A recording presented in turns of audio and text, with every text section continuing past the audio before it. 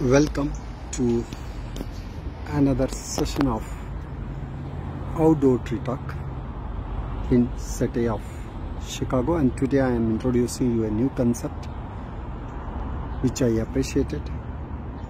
This is a jogging trail, bike trail, cycling trail over the abandoned railway line. Earlier it was railway line because after Chicago fire of 1871 government thought of construction in this area and for transportation of material and men and material. They brought this rail line in existence which was named as Bloomingdale railway line. But after that it was abandoned as there was much habitation and uh, railway line was elevated so that there are not mortalities due to collision with the goods train. Ultimately this elevated train track was also abandoned. And then it was just left to oblivion. And locals or natives surrounding this railhead line. They just started visiting this or traversing this as morning walk location or just to enjoy the wilderness and different viewpoints of the surrounding city. Ultimately in 2015 with the community participation and the innovative idea was floated to convert this abandoned rail line into the trail park linear trail park which is uh, named as 606 linear park. Why 606 because many postal zip codes in this area start with 606 and it is also known as bloomingdale trail as it was earlier named as Bloomingdale train rail line. So on that context it has two three names and it is, about 2.7 miles a linear stretch and this is considered as second largest in the world. The first largest linear park trail is in Paris, France. Uh, promenade plantée. And this linear trail in the western Chicago which runs in east to west direction is about 4.3 kilometer and that is calculated as 2.7 miles. So it starts from Walsh Park which is here. It has the yellowing leaves of Kentucky coffee tree and also the pink foliage of maple which I think it should be Acer freemanii and then there are bushes, there are grasses, there are flowers. And this track goes towards west side having many viewpoints on the way and uh, kids park and Churchill Field Park Damon's Arts Plaza and many other fascinating locations on the way towards the east side. So let us just have a walk on this linear trail park to get the idea how this park got into present form with the contribution from various innovators, community groups and this trail has over 39 bridges under which various streets, row, street roads pass and people use this linear trail for jogging, walking, cycling and conducting astronomical nights because there are observatories on the western side where during night times on particular days uh, star studies conducted. And this is goldenrod solidago uh, solidago canadensis. But apart from solidago canadensis they have also introduced different species of solidago and uh, before me you see this is another northern bayberry this is a female tree with the uh, blue colored berries. This is in fact the american coffle. In jammu and kashmir we have the coffle myrica esculenta whereas this myrica is pennsylvanica.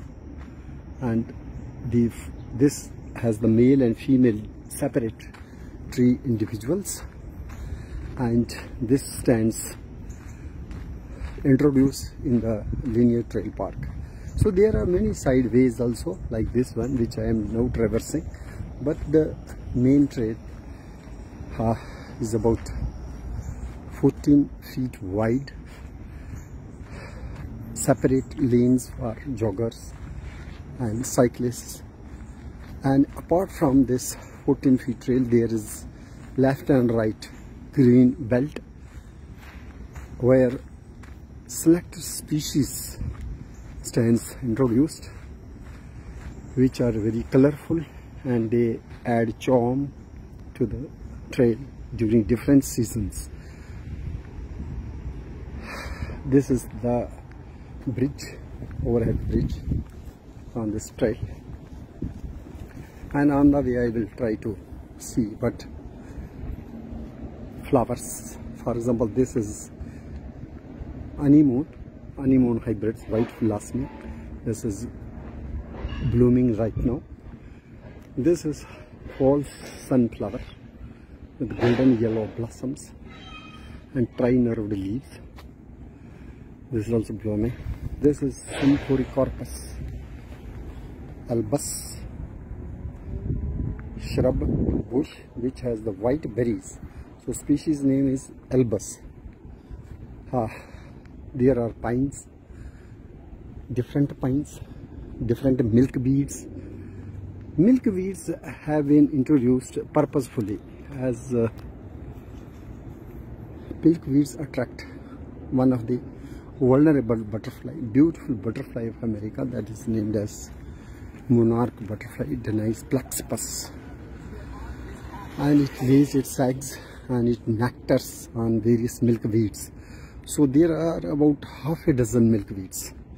Most common milkweed which is introduced along this linear trail park is Asclepias syriaca. But there is also orange milkweed which is Asclepias tuberosa and Asclepias tuberosa is blooming before me. You can appreciate its color. It is a kind of relative of Ak, Calotropis procera, which we see in Jammu. And you see this milkweed is not only the host flowering bush for monarch butterfly but also it is alluring many honeybees. Leaves are opposite and this has fascinating flowers. It is adding color to the trail as well as it is feeding honeybees and also butterflies especially monarch butterfly Danaus plexippus you find introduction of various oaks here. There's a lot of diversity of oaks quercus in North America and you see this oak before me is bur oak which is largest acorn among oaks. So one of the oak you are able to spot which has solar corona like structure. Leaves are lobed and it is introduced here so this is a kind of white oak named as oak Quercus macrocarpa. Uh, you have side walls with this foliage as well as blossoms, honeymoon and then this bush which particular bush that have fascinating flowering during spring season. And this is again Quercus macrocarpa var bur oak tree.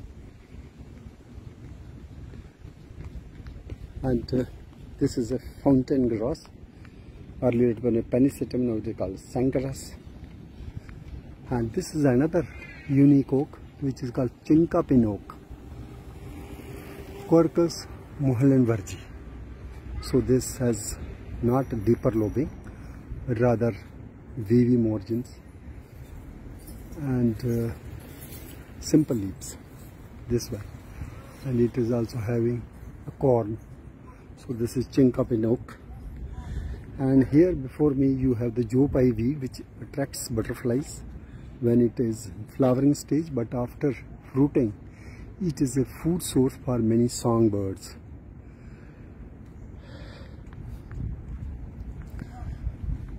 And all these are chinkapin oaks Quercus muhlenbergi so this bush is already at fruiting stage. Eutrochium is its botanical identity. Uh, here I will show you this is another species of sunflower not true sunflower but this is named as downy sunflower. As it has the hairy stems and nodding golden blossoms. Leaves are opposite they are simple and this is the common milkweed. This is Asclepias syriaca with follicles. This is goldenrod solidago canadensis. And uh, here I will show you another blossoming typic of Helianthus mollis. That is downy sunflower. So this is not the true sunflower it's a true sunflower species no doubt but not the more familiar Helianthus annuus it has smaller blossoms and greenish central disc florets Uh, this is another bridge. So number of such bridges which cross over various streets and roads is 39 uh, this is the another yellow flowering lanky uh, flowering bush which is in fact named as Silphium Silphium terebinthinaceum uh, also named as prairie dock. Why dock? Because it has very large leaves which show the simple lamina very large long stalked leaf. And this leafless branched stem which has the capitula so this is not sunflower but this is Silphium terebinthinaceum and these are very lower leaves which orient towards sky and they uh, are aggregated at the base not at the along the stems. You have only panicles and these capitula. Uh, this is the unique berry which uh, fruits mature in June. So this is called as the June berry. Another name is service berry. Fruits are edible. All these uh, yellow ornamental flowers are of Silphium terebinthinaceum and many honeybees are seen, seen on this flowering bush. Here also you can see the close-up of this capitulum of Silphium terebinthinaceum and honeybees at work. So should not be confused with sunflower. Uh, here I have come across the northern uh, Catalpa, Catalpa speciosa and on this I find some birds activity, some warblers though it is not in the flowering stage but you see these tiny birds, small birds which seem to be like some kind of finch or warbler maybe finch because tail is not very long. And these are the fruiting pods which are hanging in clusters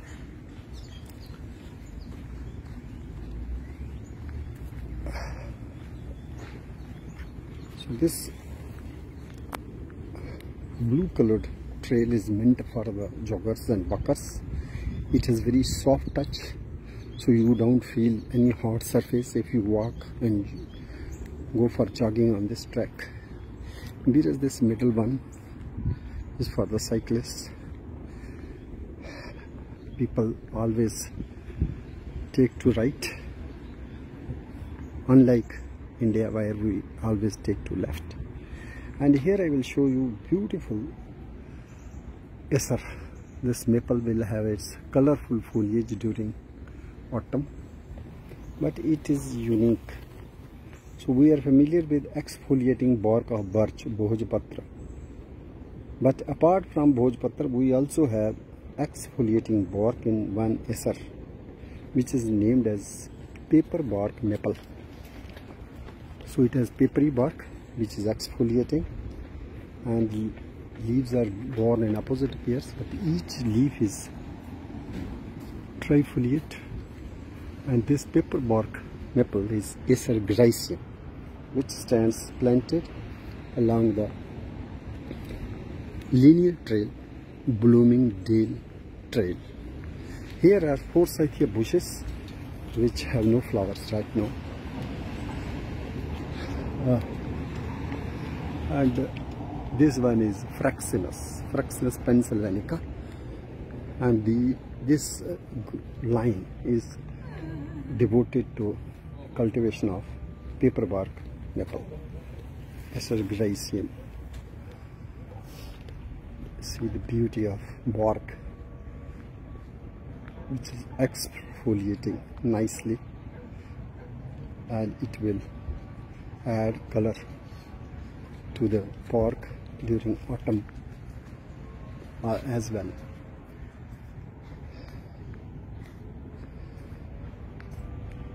On either side of this track, these maples are growing. This side also you have the Acer griseum and this side also you have the Acer griseum. So this structure, you can name it as paper bark maple tunnel. It's a kind of green tunnel. Why I am telling you all this? Because in Jammu region also we have some abandoned track which was in use before India got partition. So that abandoned railway line could have been developed like this linear trail with addition of ornamental flowers, bushes, trees that could be even thought of now also. So we need to learn from this innovative idea how we can convert the earlier train track. And once it got into disuse so it has been developed nicely for this multi-purpose train. So all this Joe Pye weed fruiting at this stage. But these fruits capsula will allure many finches birds including the cardinal bird cardinalis cardinalis serviceberry because this fruiting takes place during the month of June. And this is amelanchier here you have the rosa rugosa very fragrant flowers and this is false indigo baptisia australis with blue flowers. And here you have an exit. Those who want to exit they can go. Those who want to continue the walk or cycling can continue toward the west side. So it starts from the ashland avenue and it is a straight linear park. It ends at ridgeland here you have the love grass. And here you have the Sangras. Chicago District Park is managing this park. And you have various viewpoints where you can stop and have a view of the surroundings. So this particular blooming rail trail many activities are organized throughout the year. Here you have the Campsis trumpet vine flowers. Here all roses.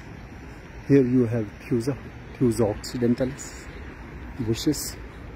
Here it is Symphoricarpos albus and why albus because it has the wild white colored berries.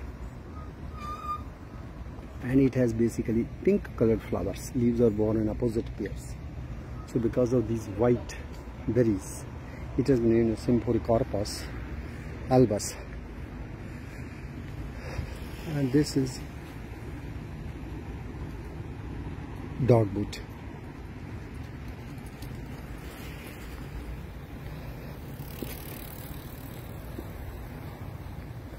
here is the exit but I would like to continue. And here I have come across the beautiful ranunculus like foliage but this flower is so fascinating.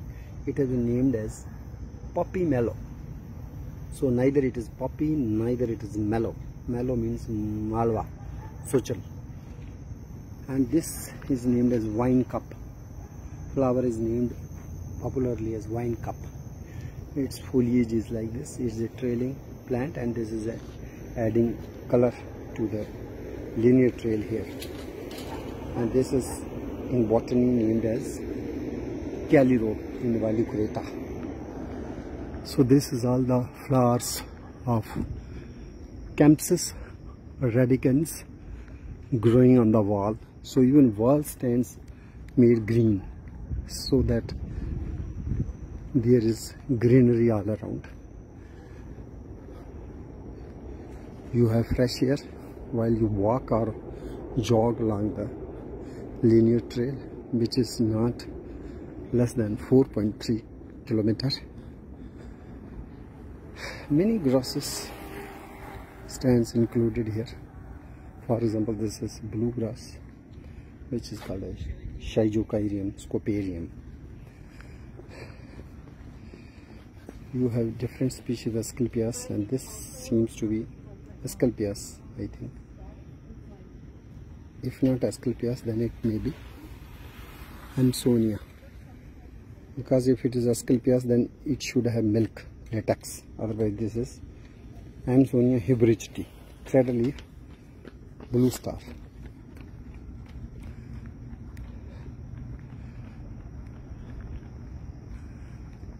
So you have another creeper here which is showing in this pink foliage and this is Parthenocissus tricuspidata. This is, I think,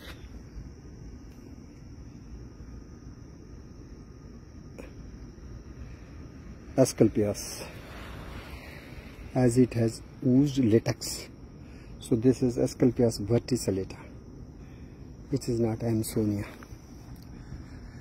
Uh, you find different kinds of trees, grasses, bushes, creepers along this 2.7 miles linear trail track which was earlier used for transportation of men and material by the railway as blooming railway line but now it is converted into beautiful fascinating linear park. So here you have the Bradford pear This is pyrus but unique flowering takes place during spring season. There are benches where you can sit and relax and there are different kinds of bushes. The bush which now you see this white flowering. This is late bone set This is Eupatorium altissimum. Here is also another blue flowering composite which is also seen in Kashmir. This is Cichorium intybus Handiposh. And here you have the Ginkgo biloba. Ginkgo biloba turns gold during autumn. So it is also the autumn gold tree. It's a very living fossil tree foliage turns golden yellow it has male and female separate trees. So it is dioecious mostly male trees are preferred. Swan dundee this is a unique plant which I came across in city of Chicago and it is growing here also. From a distance it looks like Hippophae rhamnoides sea buckthorn but it is not. As it has no spines. Leaves on upper side surface they are dark green but under surface is quite white, cottony white. This is a salix willow, kind of veer, bada. Um, so this is Salix elaeagnos and it has been rightly named as Elaeagnus after the Elaeagnus. It has the superficial look like that of sea buckthorn, which is uh, uh, Elaeagnus, Elaeagnus rhamnoides, but this is willow. So it has been named as sea buckthorn leaved willow or Salix elaeagnos. This is unique tree which I came across here and this is a grass stretch uh, interrupted with interspersed with the green prostrate flowers of this is wine cup that is Callirhoe involucrata and nearby you see the beautiful red admiral butterfly that is Vanessa atalanta. Quite common butterfly here. And here you find this trail is also serving the purpose of conservation of different kinds of butterflies. And you see the blossoms of Callirhoe involucrata and butterfly there is also old man's beard that is clematis white flowers this is again Salix elaeagnos. This is the tunnel of oak. You can say this is oak tunnel, but this oak species is different. This is Quercus bicolor, also named as swamp oak. On either side, you have these row of oaks. These are oak trees. So this side, you see even the acorns. Acorns are covered half by the scaly cup and leaves are white on the under surface and green on upper surface and this is its corn this is Quercus bicolor swamp oak which stands planted along the trail. And people are walking jogging and also reaching their determined destinations if they want to reach by cycling or walking.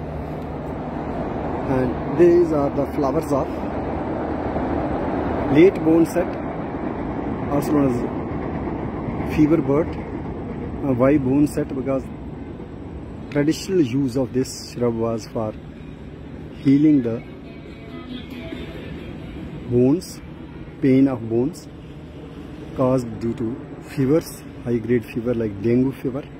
So it got its name after that use as the late bone set, but it is also alluring many honeybees and it is named botany uh, Eupatorium altissimum.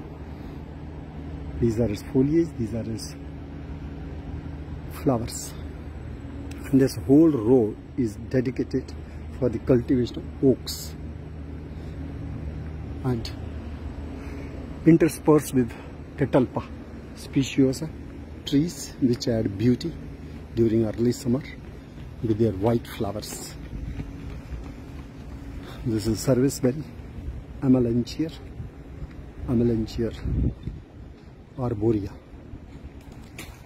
And there is Lis alum, and that is Ulmus parviflora. Uh, as autumn approaches, you will see more beauty of the deciduous trees around and one you can see sunny side which is getting more sun. The foliage is already fascinating. Orange pink. And this is Acer freemanii and this leads to the track. Below there is a park garden so along the trail and track you have about five six parks. So this is the Texas shrubbery. These are oaks. These are maples. And this is Kentucky coffee tree. Gymnocladus dioicus which is also called as stump tree as it will lose its leaves. And this is one of the tree which loses its leaves before any other tree loses leaves so it becomes leafless early in the autumn and then remains leafless for at least six months. So it has been named as stump tree. Also named as Kentucky coffee tree. This is endemic to North America. And this was also declared as the state tree for Kentucky from 1973 to 1994. After that, tulip tree, Liriodendron tulipifera stands declared as state tree for Kentucky. So this trailhead so Damen Arts Plaza covered, Churchill Field Park covered, and now we will probably uh, proceed towards the west trailhead to see the Julia de Burgos Park, then Humboldt Overlook. Humboldt Park is also there, and then that Exelon Observatory. So we started from Walsh Park, that is Marshfield Avenue, then we came to Wood Street, then crossed Damen Avenue, then Milwaukee Avenue is coming, then Western Avenue, then Rockwell Street we'll cross, then California Avenue, then Humboldt Boulevard we have to cross, then Dimple Street we'll cross, uh, Spaulding Avenue will cross, Drake Avenue will cross, and then Lawndale Avenue, and then ultimately that location where this linear trail ends is a Ridgeway Avenue and there you can see the Exelon Observatory. So on the way many bridges where you don't find greenery at some spots but otherwise the whole track is almost green decorated with foliage, flowers and throughout the day people are coming and going, running and jogging and it is estimated about 10 lakh people use this track during one year. And here you find another bush which is chokeberry, black colored chokeberry. This is Juneberry, a serviceberry, Amelanchier arborea and here you see the train track which is in use. This is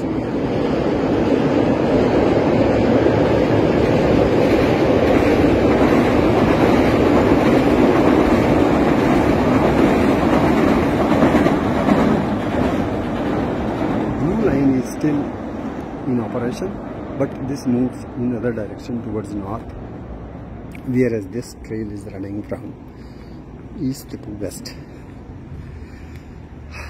one particular tree which finds its presence everywhere is Ulmus so many elms they are unique and endemic to america especially the Ulmus americana but that is susceptible to Dutch elm disease and many trees were wiped out. So now they have bred new varieties. For example uh, Morton elm or Princeton elm all belong